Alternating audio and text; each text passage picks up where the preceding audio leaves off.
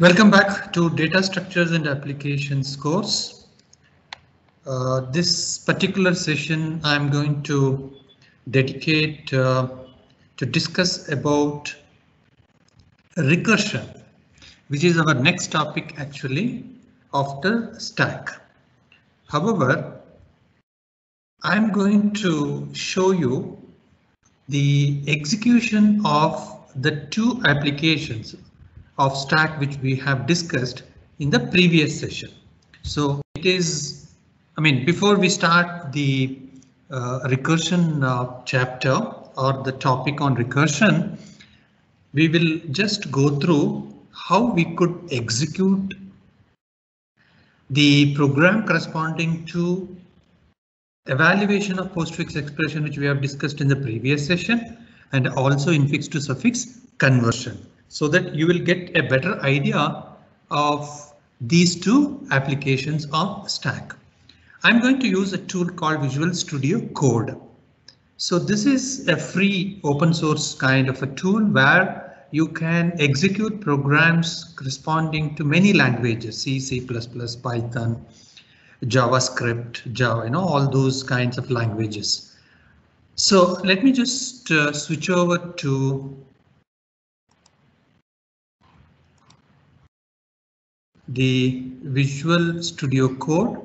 Yeah, so this is the screen of the Visual Studio. You can see here. Yeah, so this is Visual Studio uh, for Windows. Right, so here what I have done, I have uh, the program for evaluation of the postfix expression based upon the algorithm which we have already studied. So we have uh, the main program which calls the function called eval. So by sending the input expression, uh, which is called as expr. So this is the expression. So this is the function. So this program is written based upon the algorithm which we have already shown. For instance, the uh, you know, for loop which scans through the postfix expression starting from the first character to the end. So until the null character. So this for loop will take care of picking up each character from the input expression. So from the based upon the POS, that's the pointer or the index. So each character is read. You can see here C. So if it is a digit, we push it into the stack after making it as numeric because whatever we read will be a character. So if it is not a digit, could be an operator because obviously. So pop twice. So that becomes your operand operands and uh, do the required operation based upon this operator. So that operator is sent along with the operands to another function called as OPR, ER. So that function will evaluate and send back the result. So OPR is this. So if the symbol is plus, you do this plus operation minus for the operands, subtract, star, etc. So depending upon the operator symbol, the required operation is carried out. And the result you can see here it is sent back. It could be a float also because divisions, for example, we don't want to make it integer, but we want to have a float. So we just get back the result. So R is the variable which holds the result of this operation. Now we again push it back to the stack. You can see here the result R is pushed back to the result. So this is continued until the end of expression is reached. In this case, I'm not ca calculating the length, but it could be very easily checked whether we have reached end of the string by noting down whether it's a null character or not because every string in C or C++ is terminated by a null character which is represented as slash zero. So once you finish this, we need to pop because the final result is stored in the stack as we have again already studied and uh, return the result. So that will be printed here in the using the printf statement. So let me just execute this. So run the code. Yeah, you can see here now it's running and uh, Yeah, now enter the, you can see here, enter the postfix expression. So I'll just say 345 star plus this 4 into 5, 20, 20 plus 3 is 23.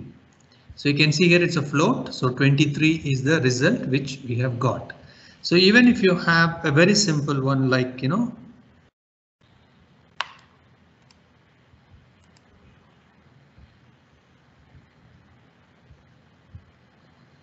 Yeah, so this is the second uh, example. So 5 by 6, sorry, 5, 6, because we should input the postfix. So 5, 6 slash, you can see here it gives in float 0.83.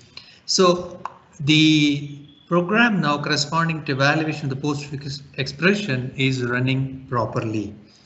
Absolutely no problem, but we need to convert any given infix to the suffix or postfix. So how do we how do we do that? So we will pick that program now. So this is the program corresponding to that. So again, we have infix, postfix. These are the two arrays, string arrays, which we have and uh, the infix is sent and postfix is obtained. OK, now this is the function infix postfix, which will do this conversion. OK, so now we'll go through that quickly uh, because as per the algorithm, it's all done as per that. So stack is initialized with the closing, I mean opening open parenthesis and uh, end of it is closing parenthesis. And this while loop will run for the entire length of the string. So len will find the string length. So this you can see here, it's the length of the string. So i is the index to go through the infix expression character by character. And if it is an operand, that means A to Z, it will actually send it to the postfix. So you can see here switch statement. So if it is percentage, what is percentage?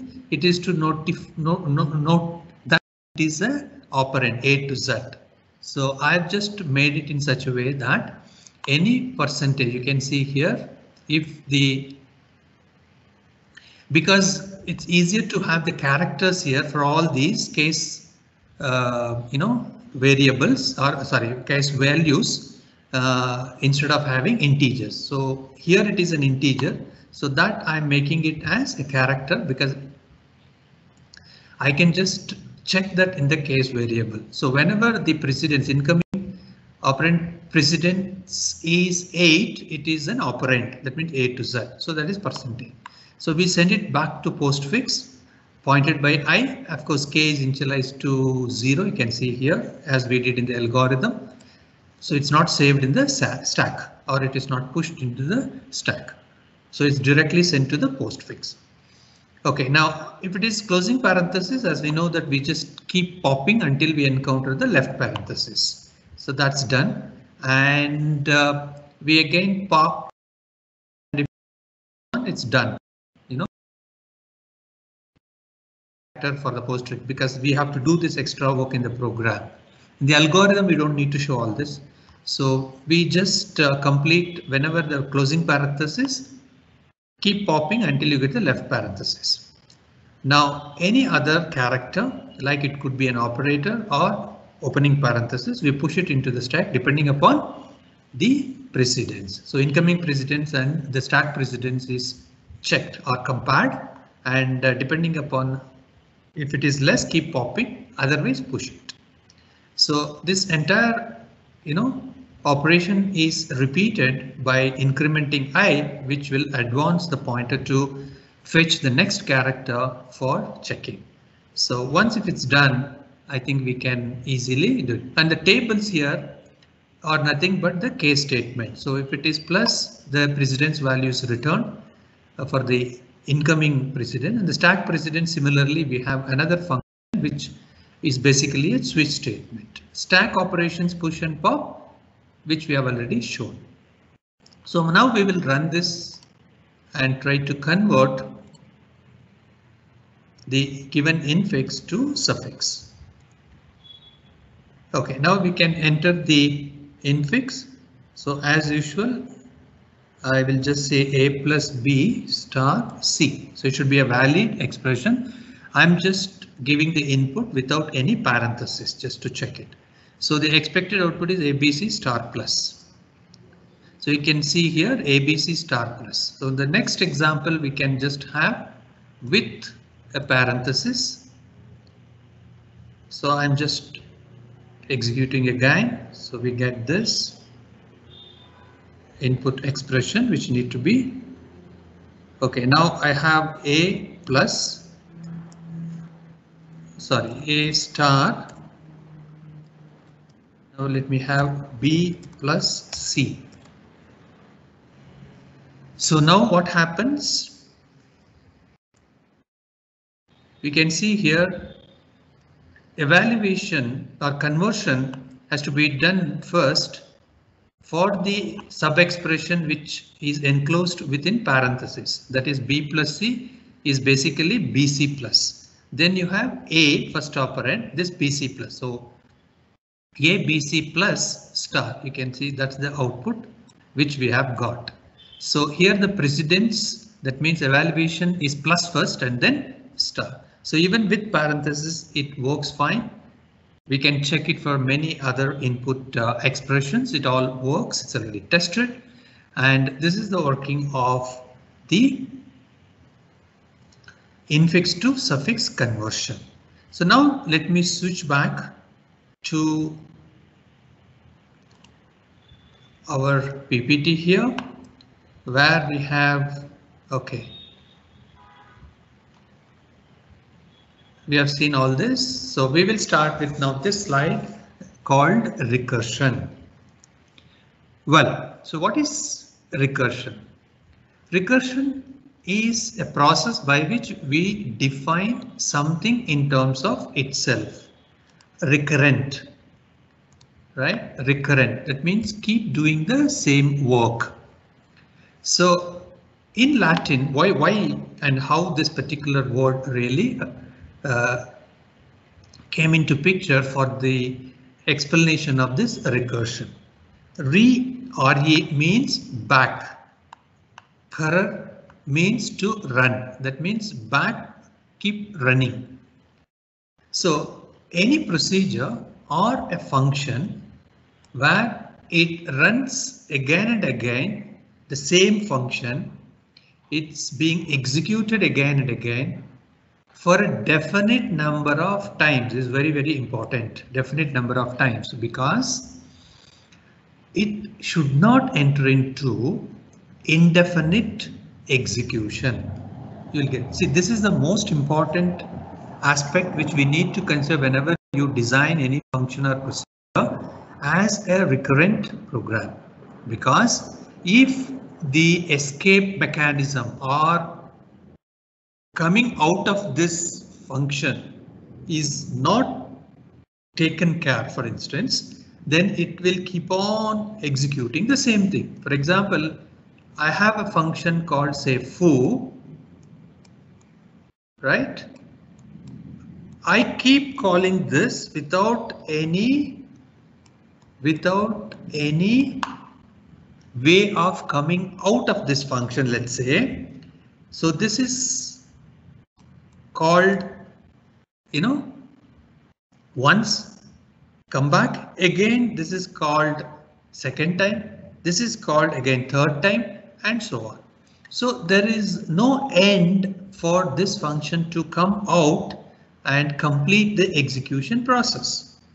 So obviously we have a problem here that it enters into indefinite loop.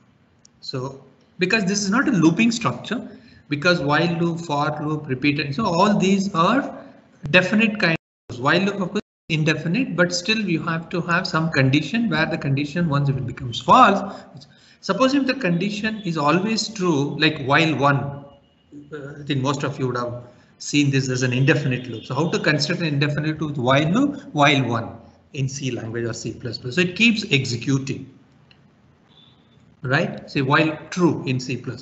So this is very important aspect that in recursion we have to first worry about the uh, escape mechanism we call it. So let's say we have a function called foo and we are going to call this function foo but prior to this we have to establish this one. What is known as escape condition. So what is this escape condition? This is nothing but the way by which you can come out of this particular function called foo, which is initiated as a recursive function. So it is a regular way of writing the function in any language, but the way in which we are calling is not calling some other function, but we are calling the same function again and again. How many times? It is in, you know, it depends. It depends upon the way in which you establish this escape condition. So we can actually problem in terms of the recurrence way, recurrent way.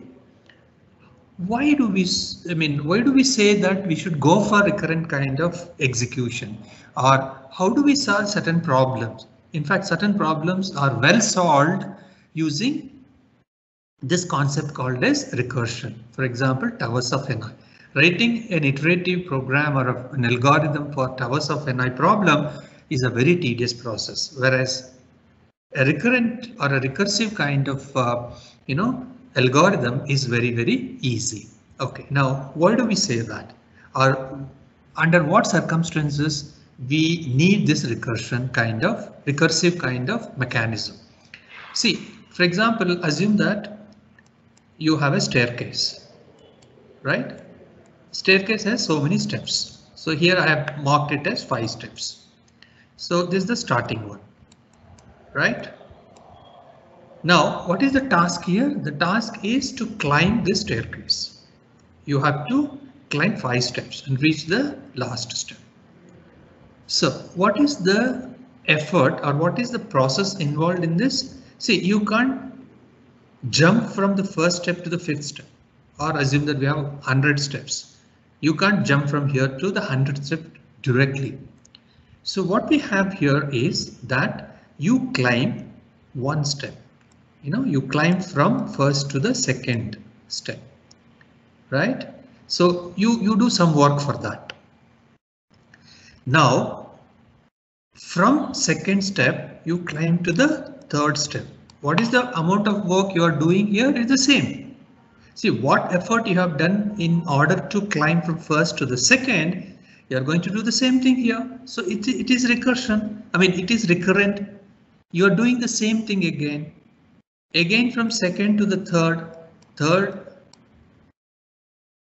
sorry, third to the fourth, then again from fourth to the fifth. So in order to climb one step to the other, the next one, you have done some work, some instructions have been executed and this out again here. So whatever the work you have done here, you call the same function in order to complete this, in order to complete this, in order to complete this.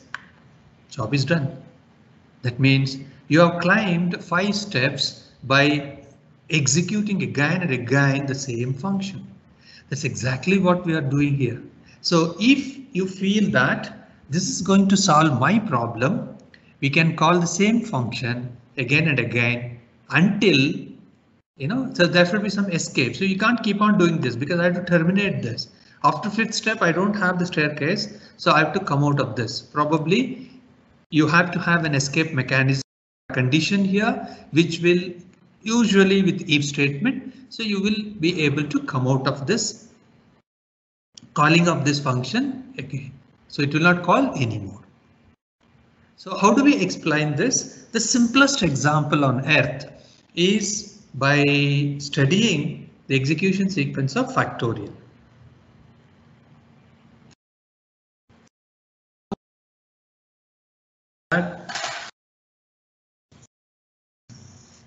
Can be easily, uh, you know, calculated. Factorial of a given number can be calculated using an iterative method.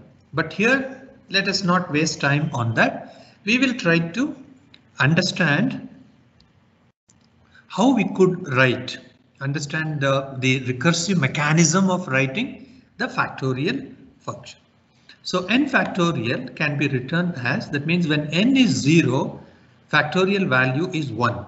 See this is now otherwise otherwise That means when n is greater than 0, it's nothing but, you know, n into n minus 1, fact of n minus 1. n into, okay, here I'll just say, because I'm not showing the factorial, I'm just say, saying that it is the recurrent way. So I can introduce this function, supposing if you have, so fact or f. So n into fact of n minus 1. I can I can call this fact, but this time I'll reduce the value of n by 1. So essentially, every time I'm calling the same function fact by reducing the value of n by 1. So we can write a simple algorithm here. If n is less than or because even fact of 1 is 1, so I can, you know, easily or if n equal to 0 return 1 we can use the same kind of condition here again but it's understood. So what happens if n is less than or equal to 1 I'll return 1 and uh, negative numbers of course it doesn't have any meaning so we will have to take care of the fact that n is always a positive number. That means the parameter being sent to the factorial is considered always as a positive number. So it's return 1 that means the first one. Now for all other values of n we can return n into fact. So this is the function which is called again here and this is my escape condition. This is my escape condition. So if the value of n is reached to this then I'm providing an escape way coming out of not calling this fact anymore. It will simply return 1. Else I'm going to return n into fact of n minus 1. Fact of n minus 1 means it's a recursive call. It's a recursive call. So I'm calling the fact, but this time by reducing. Supposing if n initially 5, it will be 4 if it is 4, it will be 3 like that. So every time when you call fact, the value of n keeps reducing. So that's nothing but supposing if it is 4 factorial which I want to calculate, it's nothing but 4 into 3 into 4 into 3 into 2 into 1. So that's exactly that's the fundamental thing. So I don't want to waste time on that. So it's very easy to say that factorial can be calculated by noting down that we could adopt recursive mechanism in order to, you know, find the factorial of n because for example 4 into 3 into 2 into 1. So if you know 3 factorial for instance that's enough. So this is nothing but n into fact of n minus 1. So this 3 into 2 into 1 is nothing but 3 factorial. So 4 into 3 factorial is actually 4 factorial. So essentially what I'm trying to do here 4 into fact of n minus 1. Right. So if I know the value of fact of n minus 1, I could calculate fact of 4. So that's exactly the real reason why we go for recursive method in order to find the factorial of any given number.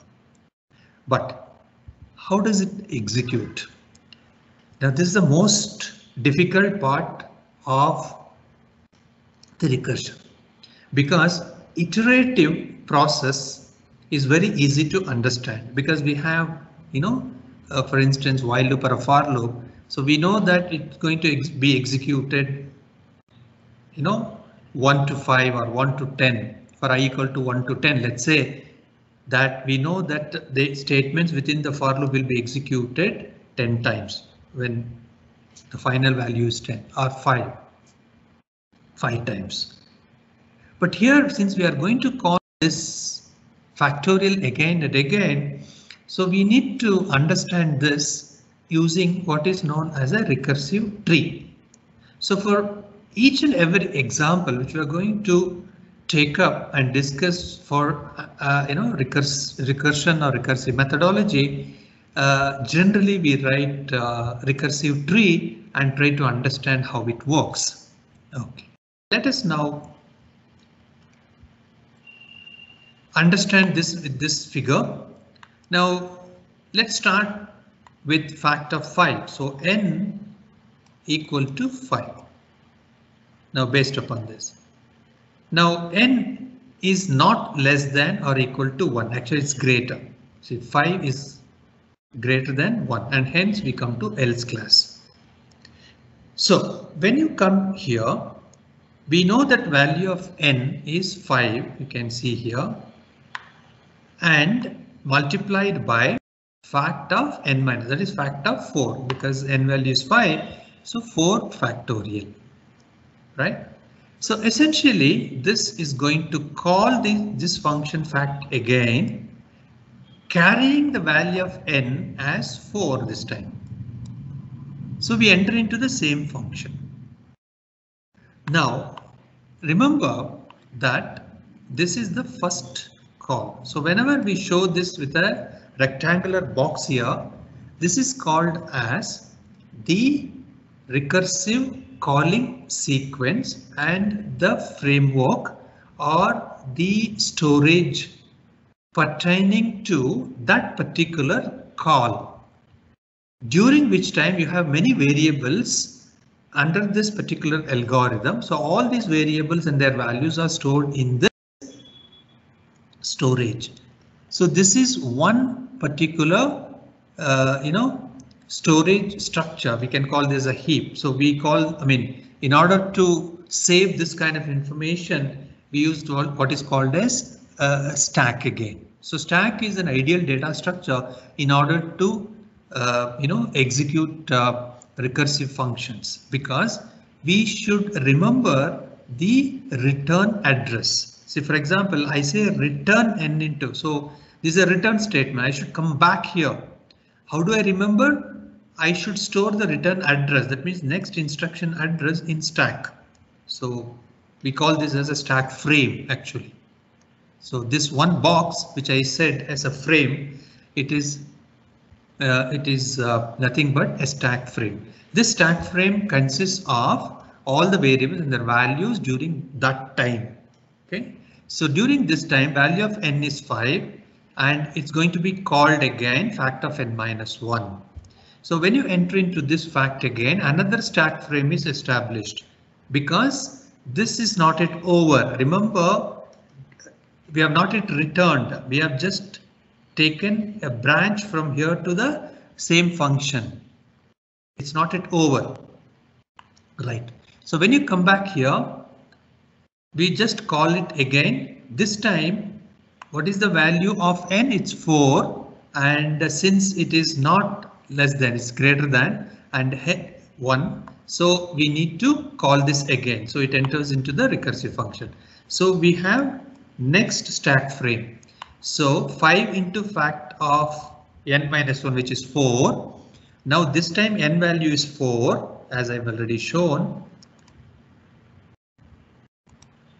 So initially 5 now 4. Now 4 minus 1 3. So this time fact is going to be called with 3. So this is my next stack frame. So n value is 3 and since again it's greater than 1, so it will enter into else class and then again it's called, that means 2. So fact of 2 will be called again and uh, still again it is greater and hence it will make one more call which is 1.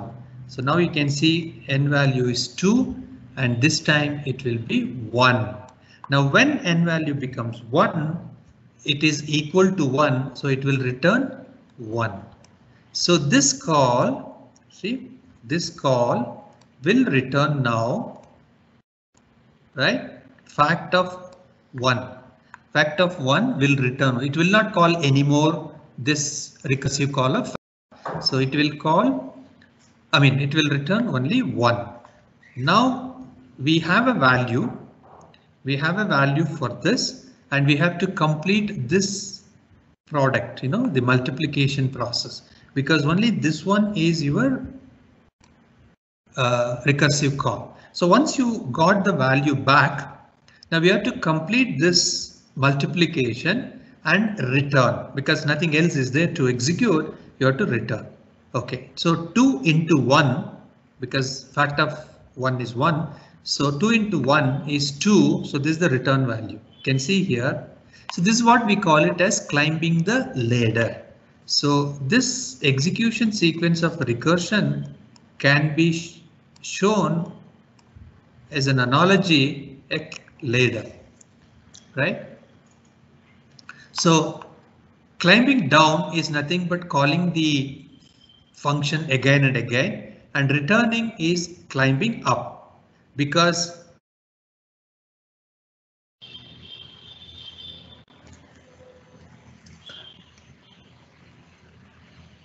So the stack is used in order to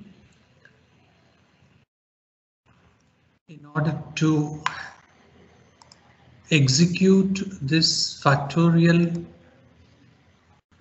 function uh, effectively by storing the information in each stack frame. So return addresses, as we have just discussed, are stored in the stack frame and um, later also we have shown as an analogy uh, where the return path is actually maintained starting from here. So when when we return from this stack frame to this, it takes the value 2 into 1 because 1 factorial is 1 which returns which is already returned and uh, this value is taken back to this stack frame. That means what is the value of n in that stack frame? As I mentioned already, the variable values are saved in this stack frame. So when you come back here to this particular stack frame, we have the n value 3, return value is 2 for this 2 factorial and hence 6 is the multiplied result. So this 6 is again returned because the return address goes to the previous stack frame. So 3 factorial value 6 is multiplied uh, by 4, which is 24, which is again taken back to this. This is the original starting point where we have taken many such calls, recursive calls of fact. So now that you've got 24 for 4 factorial, 24 into 5, 120 is the returned value which goes to the calling program or function. So climbing down the ladder is the recursive calls. Climbing up is nothing but return of values from one stack frame to the other immediately above that.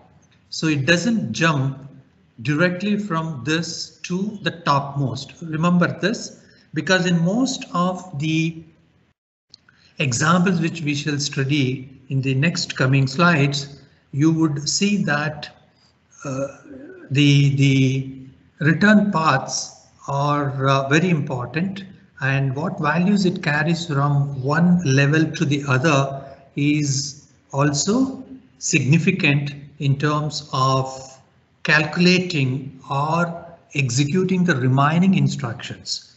Now notice here that we don't have any other instructions after executing return or here return, which means that in some cases, in some examples, there could be some instructions, some statements which may be executed, which may need to be executed after this return statement. So in this case, it's not there. So we see simply keep returning back to the previous, previous, previous until you come back to the step. So stack frame. So uh, writing the tree, the recursive tree helps in understanding the execution of this recursive program or function. So let me just repeat again or summarize this that whenever we have a recursive call, it creates a new stack frame and then it keeps going until it comes to the return path. I mean, the final escape, you know, mechanism. This, this is the final return actually, uh, which does not invoke the recursive call. That means it will not call the recursive call anymore. Now that's the place we call it as escape mechanism. You know what we have mentioned here is the escape. Until that time, we all have to come to this else part of the instruction and keep calling this, you know, recursive function again and again. And once you get this escape mechanism, then you keep going up. So we can take this tree structure in order to understand this. So this we will try to explain it further with more examples later. For instance, the second example here, the greatest common divisor.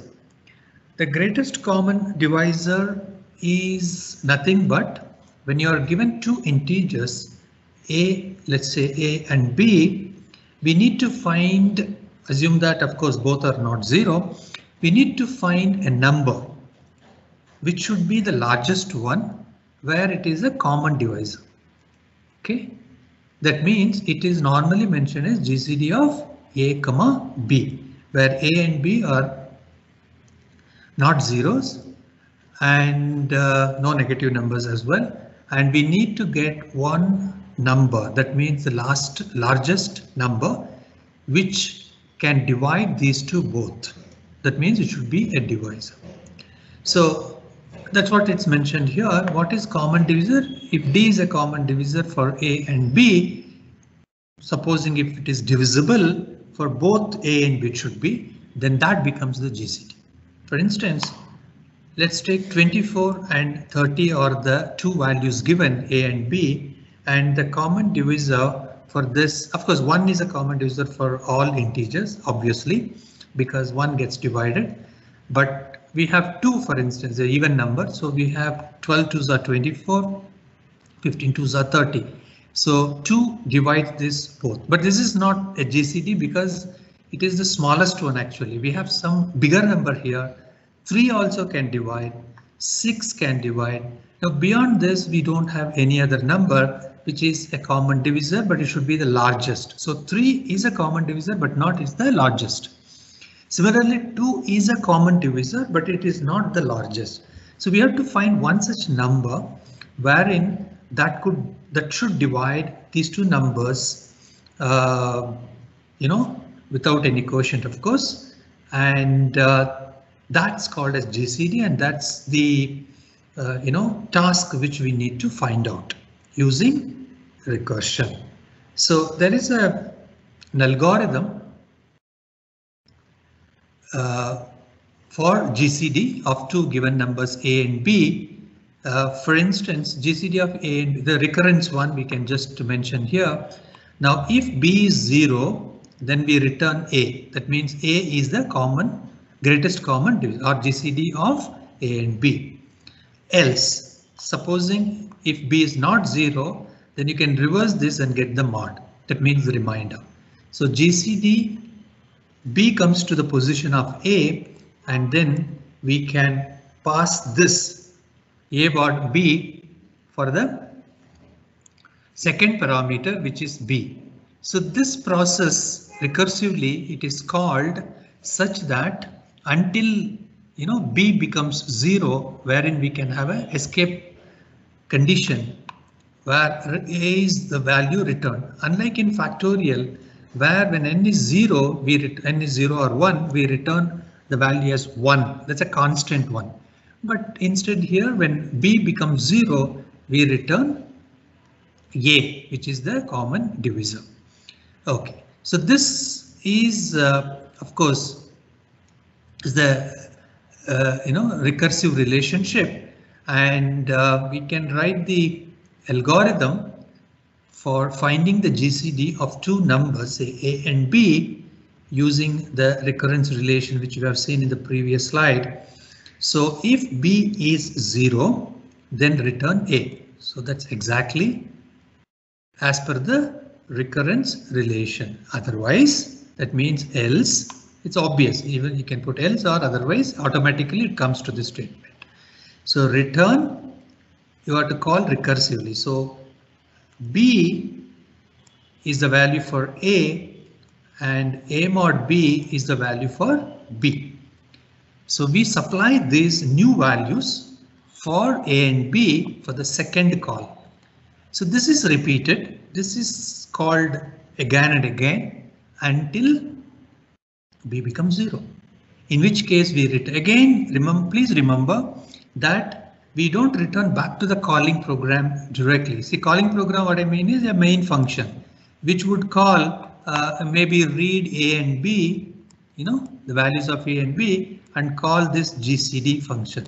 So you pass A and B and once you get this, say for example, the common divisor, then print D because we get the print D. So this is my main and this is my first call.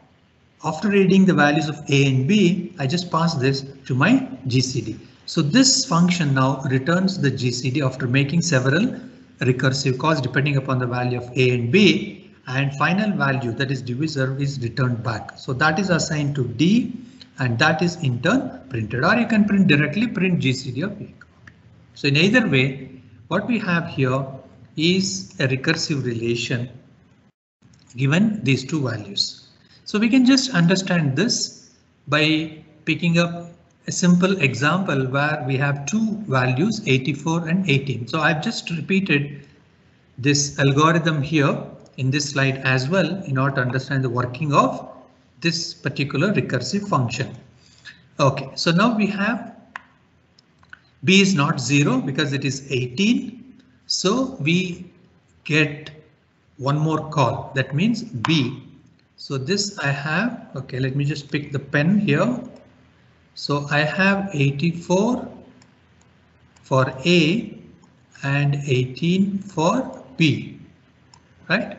So since 18 is not equal to 0, that is B is not equal to 0, we make a call again. So in which case 18 comma, so because B goes here, so this becomes 18. And what is B value? A mod B. So what is A mod B? It's a reminder. Mod means reminder. Percentage in C language you would have studied. OK, so what is A mod B? So 84 divided by, okay, I'll just write here, 84 divided by 18, right? So 4 times if you make into 4 72. So you have 18 fours are 72. 84 minus 72 is 12. Right? So this is the reminder. Hence, hence we have now the B value instead of 18 now I have 12 because that's the reminder of 84 and 18. OK, so that's what it is shown here, which means we call again with 18 and 12. Since B is not 0, again we make this 12. And what is the reminder? 18. One once only it gets divided and the remainder is 6. So I have 6 now. You can see here 12 and 6. So once again GCD is called. This time 6 and since the remainder is 0, I get 6 comma 0. Now it is b equal to 0, no more calls will be done. And hence the result 6 is returned as the GCD of your uh, 84 comma 18. So calling sequences, stack frame, etc. can easily be shown here for a smaller set of values here. So this is one example. So this I could call it as the second example where I have GCD of 30 comma 21. So I since b is not 0, the remainder is 9. So 21 9. Again it's not 0 and hence 9 21 divided by 9 that is mod of 9 is 3. So again b is not 0. It comes here now it, it is divisible and it is 0. So which means that 3 is returned returned back to the previous. Now in this case, now in this case what happens? We don't have any other work to do here. Unlike in factorial where we had n into fact of. So that multiplication process, you know, the multiplication uh, work is, is not there in this particular example. So we have just only returning value. So whatever the value it gets, it's just returned. So you can see here three.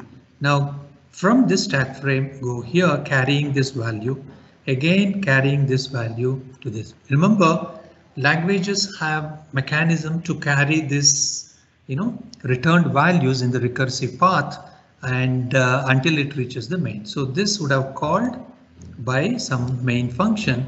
So 3 is the value which is returned and printed as the greatest common divisor. That is 10 3s are 30, 7 3s are 21. So you have 3 as the greatest common divisor.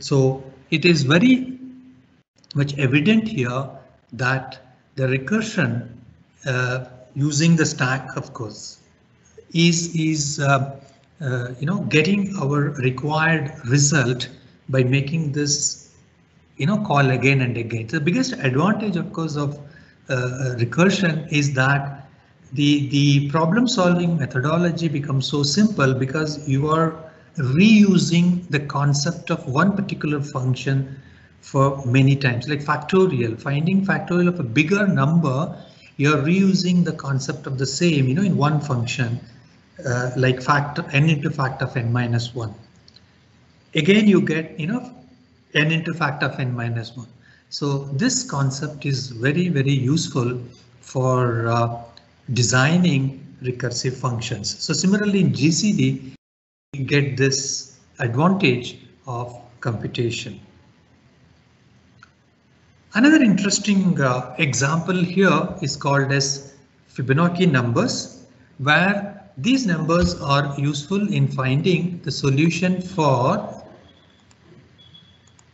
the rabbit problem. This is a place where you know the Fibonacci numbers are uh, used because uh, one common uh, doubt which the beginners will get, see we study all these kinds of examples, factorial, GCD, Fibonacci numbers, Ackermann function, towers of Hanoi, you know, so many functions, there are so many other functions as well as I will show you in the exercise later. So each and every problem here has our solution process has its own applications.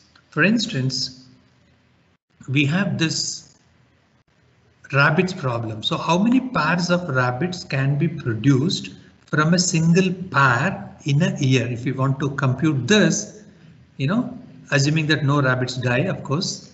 So we are just uh, trying to calculate uh, how many rabbits can be produced from a single pair. For example, you know, I'll start with 1 1. So Fibonacci number, the third one is nothing but the addition of the previous two.